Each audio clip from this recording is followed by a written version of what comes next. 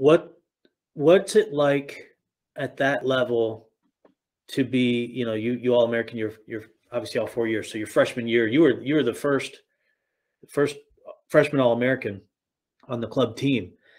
What's your experience like? I talked to you about the Schottenstein Center, and I can only I know that from being there. What's your experience like in Allen, Texas, at the national tournament?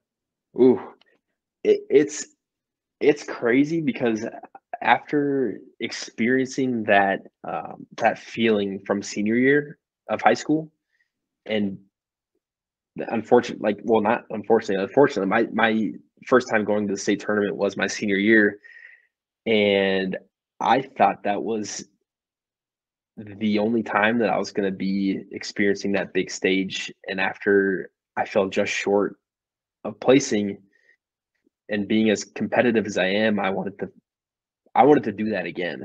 Like, and when I found the opportunity by chance at Ohio State, I, uh, I took it. And Allen, Texas, I mean, going to the state tournament and then going to Allen, Texas, uh, they're they're pretty similar, man. They're mm. it's uh, the NCWA national tournament is no joke, um, especially when you get into those top ten top ten seeds for each weight class. Uh, those are, I mean, those are really really good guys and great competition. Um, Allen, Texas is is uh, really special, and it's another shell shock, honestly. mm.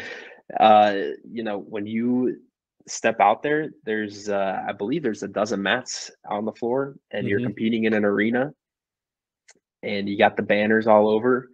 Uh, very similar to being in the Schottenstein, and uh, you got all eyes on you. It's it's. I, I'm not going to forget any of those experiences, and I can recall each one from my senior year of high school to my senior year of college. I can recall all those times I was in the one time I was in the Schottenstein, and then the the four times I was in Allen, Texas. It's uh, I mean, they're they're great experiences. I'm never gonna forget. So you you graduated? You're grad student still, or you you're done? I'm done. I'm done okay. with my undergrad. Yeah. Yep. And what are you what are you doing now? You're pharmacy tech. Is that right? Yep, pharmacy technician at Ohio State. I uh, I actually worked as a student at Ohio State, had a great student job, and I uh, kind of got um, got the job from within and it's been great. I work at the uh, the Wexner Medical Center as a outpatient pharmacy technician, and it's been awesome. It, it's it's uh, working at Ohio State's great. Competing like doing my undergrad at Ohio State was great.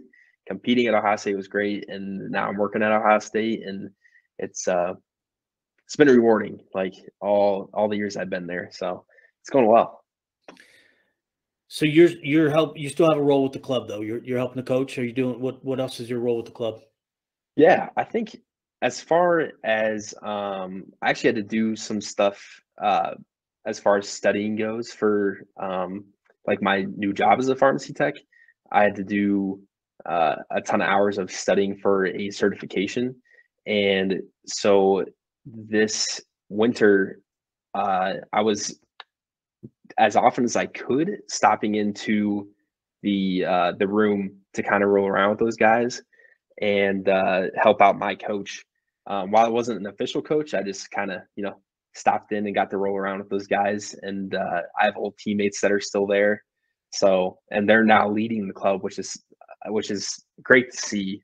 Um, and yeah, that's kind of that was my role with the club now this year, and I hope to be growing it a little bit next year and see uh, maybe kind of going to some of the opens with them, maybe, and uh, being some of those guys' corners.